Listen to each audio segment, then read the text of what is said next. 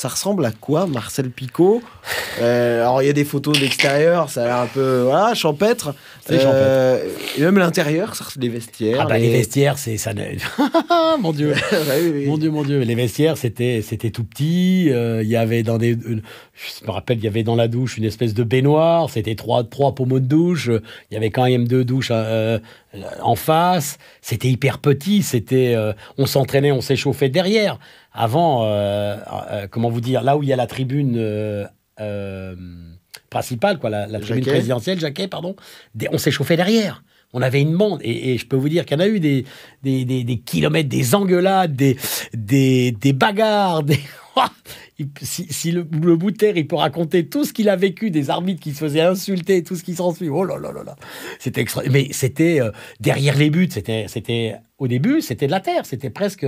Après, il- on a construit. Ils ont mis euh, des, des, amas de cailloux pour que ça monte un peu plus. Après, ils ont construit un toit. Est arrivé euh, Azote, après le décès du pauvre monsieur Azote d'ailleurs, et il y a cette tribune qui, est, qui, est- qui a pris son nom. Euh, Jacques, du moins Jacquet à l'époque a été refaite.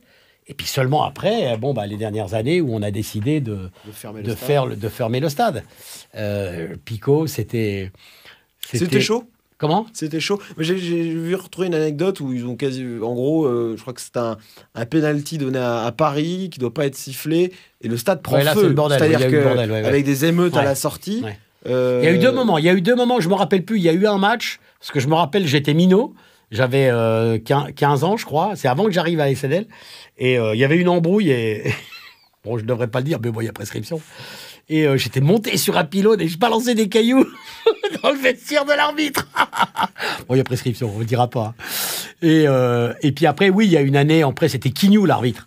Et là, moi, j'étais parti. Hein. Mais là, ça a été chaud. Non, nous, le, moment le plus fort, c'est quand Saint-Etienne vient jouer. Saint-Etienne qui avait été, euh, qui était en, Coupe d'Europe et où on a 32 000 personnes et où les gens sont euh, sur la bande où on courait à l'époque et qui, on est rentré parce que l'arbitre voulait pas faire le match.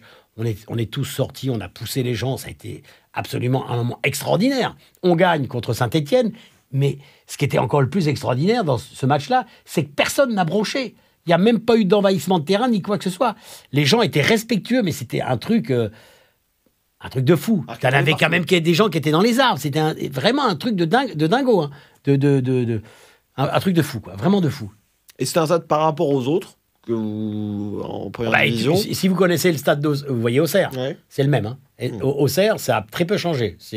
J'espère que maintenant ça a un peu changé quand Vaut même. mieux, ouais. Mais euh, voilà, c'est Laval, Auxerre. euh, qu'est-ce qu'il y avait? Bon, après il y avait deux stades qui étaient plus grands, comme Bordeaux, comme Lyon. euh, Paris commençait à avoir le parc, bon, c'était phénoménal. Euh, qu'est-ce qu'il y a? À Lens C'était oh non, non, c'était pas génial. Lille, c'était l'ancien Lille. Euh, c'était mieux que le nôtre. Nous, on, est- on faisait partie au début, au début du, du- du football. De, de- c'était un peu, euh, ouais, j'ai vraiment champêtre quoi.